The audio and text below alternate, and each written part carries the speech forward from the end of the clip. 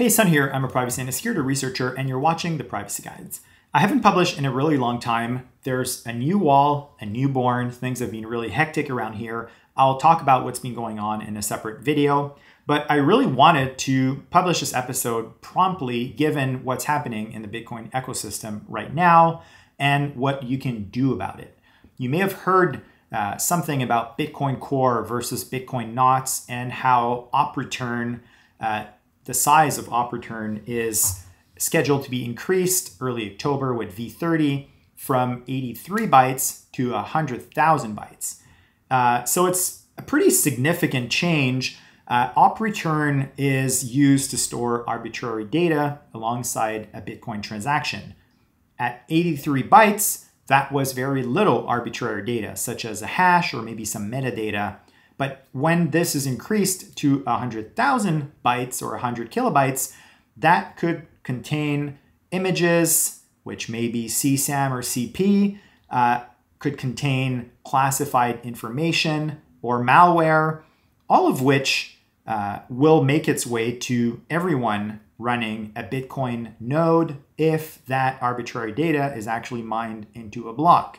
Now, obviously, I imagine miners will not want this to happen. But if anyone successfully mines a block with this stuff on it, it could compromise the integrity of the Bitcoin network, as, for instance, a list of spies could be leaked to the entire Bitcoin blockchain, and nation state adversaries could stipulate that Bitcoin is compromising national security, and that could really jeopardize the integrity of Bitcoin, which, in my opinion, is the only alternative to, to the current monetary system or monetary policy. Uh, and without making things too ideological, uh, it's a pretty big deal to risk that for increasing op return. I don't really know why Bitcoin Core developers would allow this, but apparently they have, and it's freaking me out and freaking out a lot of others. Bitcoin Mechanics has amazing episodes on this, which I'll link down there in the description.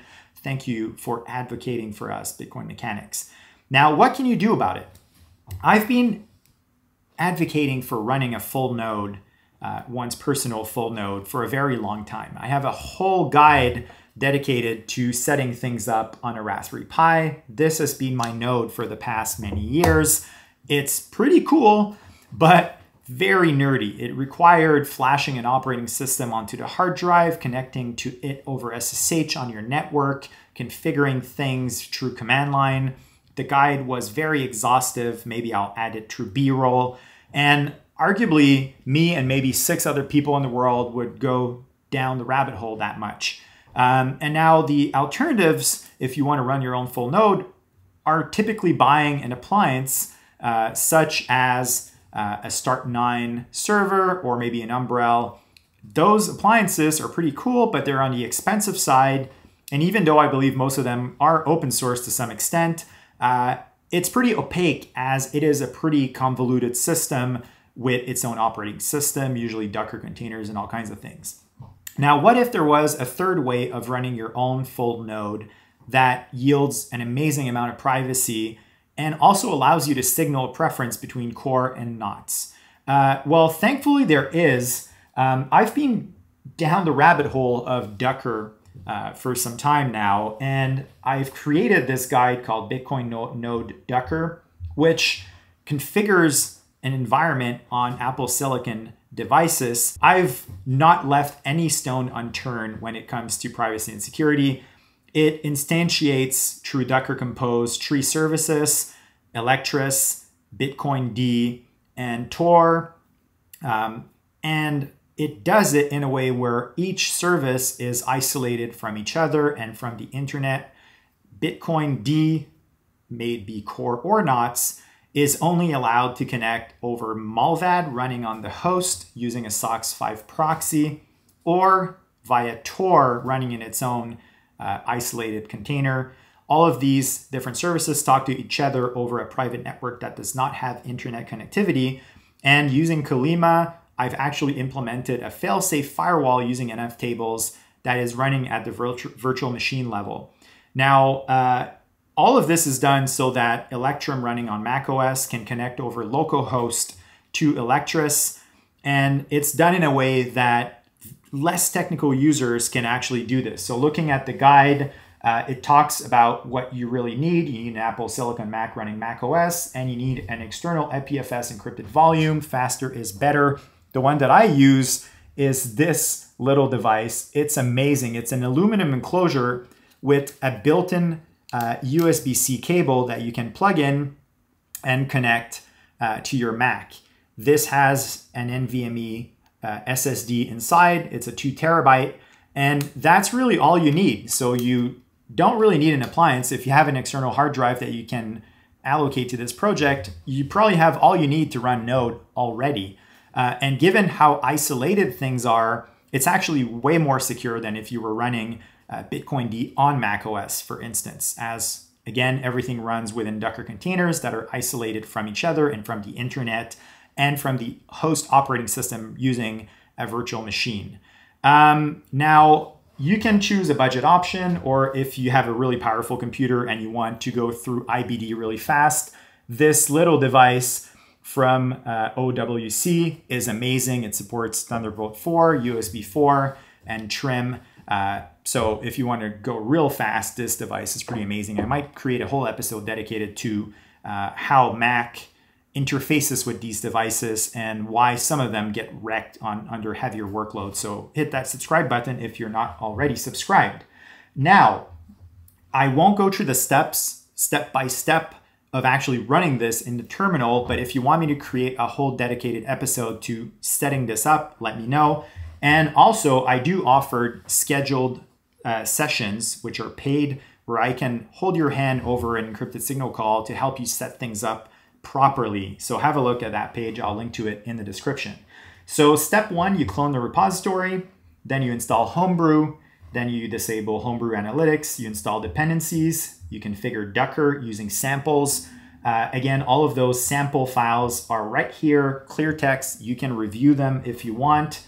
Um, I've made it so that everything is self-explanatory, uh, but you can also just go down the rabbit hole and, and learn about this, which is pretty exciting, I find. So uh, again, you configure Docker, then you configure Colima. Colima is the uh, virtual machine runner on Mac OS. It replaces Docker Desktop as an open source alternative, which I really appreciate. Then you configure Colima. That will set the virtual machine to have two CPUs, four gigs of RAM, and it will create a sparse uh, disk that is two terabytes big uh, or large. And then you copy over the .env, which allows you to set DB cache and max upload target. If you're on an ISP with limited bandwidth, you can set this, for instance, at 500 megabytes a day, so you can participate to the Bitcoin blockchain uh, without uh, it just sucking all your bandwidth out. Then usage is super simple. We recommend uh, using Mullvad for the initial block download. This is not sponsored by Mullvad in any way. If you use Mullvad, it will cost you about five euros for one month, after which you can switch to Tor. And that's actually what we recommend. We recommend using Tor outbound only profiles if you're over cellular networks, if you're on the go and you've brought your little hard drive and you want to broadcast a transaction from, say, a safety deposit box uh, location, you can. Uh, and then we recommend using the Tor profile at home uh, after the initial block download has completed. Now, you may want to run core or not. Uh, that's really up to you. This project supports both. All you have to do is choose the profile that you run, uh, that you want. For initial block download, this is the one that I personally use. And then this is the one that I use to uh, run my node once the initial block download has completed making sure that all my transactions are broadcasted over Tor, which really yields the highest level of privacy one can have. So this project is super exciting to me because for one thing, running this is very nerdy. It requires additional hardware. If you travel, you need to make sure you can access it uh, over you know, the internet. When this boots, I really loved this T7 Touch device. I have a whole episode dedicated to it. It's being deprecated. That allowed me to have full disk encryption, but if there was a power outage, I had to enter my credentials so it would fall offline. Using this as an alternative, I can bring this with me wherever I go and access my node, or also just use it when need be. So I usually synchronize it every now and then. When my computer is idle, sometimes I let it run to participate to the Bitcoin blockchain. And running knots versus core is a way to signal to the world that you're part of that movement, that you're participating on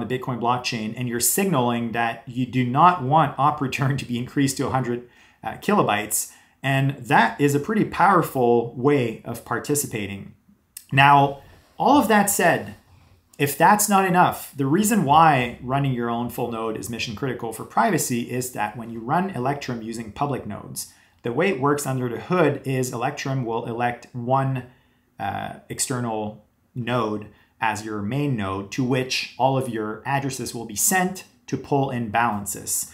What that means is if an adversary is running Bitcoin Analytics as a public node and is able to cross correlate any transaction with KYC, such as purchasing Bitcoin on an exchange, that public node that is adversarial has just de anonymized your entire holding. That is crazy. I just don't understand why more people are not running full nodes, except for the fact that it was very overwhelming. So, this project, which by the way, you can totally star on GitHub if you appreciate it, is a way of doing this on your Mac without having to understand how SSH works and how all of this crazy stuff works, and without having to purchase any additional hardware except a two terabyte external hard drive. Um, so hopefully that's helpful. Hopefully a lot of us will start signaling knots versus core, and hopefully the Bitcoin core team will roll back that change because really the integrity of the Bitcoin network is worth so much more than being able to pump garbage into transactions uh, using op returns. So that's all I have for today. I'll be back uh, hopefully shortly. I don't want to promise anything. Um, having a kid is really wild um, and it really changes things, but I'm getting more and more uh, energy back. So I'm excited to be sharing more. I have a whole bunch of things that I'm super pumped to share. So I'll see you in the next one.